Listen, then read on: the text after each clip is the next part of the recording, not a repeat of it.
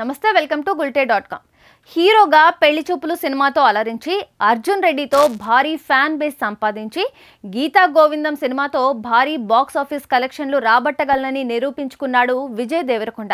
ఆ తర్వాత వచ్చిన సినిమాలన్నీ ఆడకపోయినా కూడా ఇప్పటికీ తన క్రేజ్ను మాత్రం అలాగే కొనసాగిస్తున్నాడు. అయితే లైగర్ సినిమా ఫ్లాప్ అయిన తర్వాత ఖుషీ సినిమా ముస్తాబవుతున్నా కూడా ఈసారి మాత్రం చాలా కేర్ఫుల్గా ఒక రొమాంటిక్ కామెడీతో రావాలని యోచిస్తున్నాడట. ఈ తరుణంలో ఒక ప్రాజెక్టు గురించి ఇంట్రెస్టింగ్ న్యూస్ ఒకటి వినిపిస్తోంది.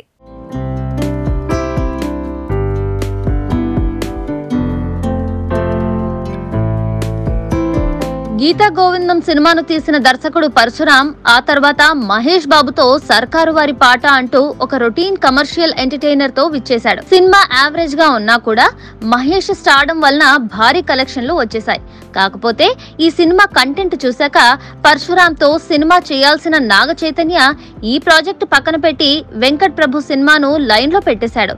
ఇక పెద్ద హీరోల డేట్స్ లేకపోవడంతో మరోసారి విజయ్ దేవరకొండతో చేతులు కలపాలని పరశురాం ఒక ఆసక్తికరమైన కథను తీసుకురాగా ఈ సినిమాలో హీరోయిన్గా రష్మిక మందన్నతో జత కట్టాలని యోచిస్తున్నాడట విజయ్.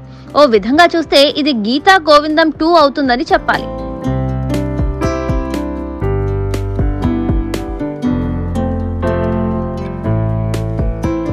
ఆల్రెడీ గీతా గోవిందం తర్వాత డియర్ కామ్రేడ్ సినిమా కోసం విజయ్ అండ్ రష్మిక జంటగా ముందుకొచ్చారు కానీ ఆ సినిమా పెద్దగా ఆడకపోవడంతో నిరాశ చెందారు. ఈ మధ్యనే ఇద్దరు కలిసి ఫ్రెండ్స్ అంటూనే మాల్దీవ్స్ హాలిడేస్కు వెళ్ళి రావడంతో ఈ జంటపై మీడియా అటెన్షన్ మరియు ఆడియన్స్కి కుతూహలం కూడా బాగా పెరిగింది. చూద్దాం వీళ్ళు నిజంగానే జత కడతారో లేదో మరి.